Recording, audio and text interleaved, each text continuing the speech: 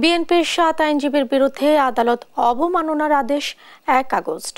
সকালে প্রধান বিচারপতি রাপিল বেঞ্চ সাদেশের এ দিন ধার্য করেন। অভিযোগ ওঠা আইনজীবীরা হলেন বিএনপির আইন বিষয়ক সম্পাদক ব্যারিস্টার কায়সার কামাল, ফোরামের সভাপতি সাবেক attorney general A J Mohammad Ali, বিএনপির নির্বাহী কমিটির সদস্য advocate Fatema Nasrin Munni, advocate Abdul Jabbar Bhuiya barrister Ruhul Quddus Kajal, advocate Mohammad Mahbubur Rahman Khan ও অ্যাডভোকেট গাজী মোহাম্মদ কামরুল ইসলাম সজল।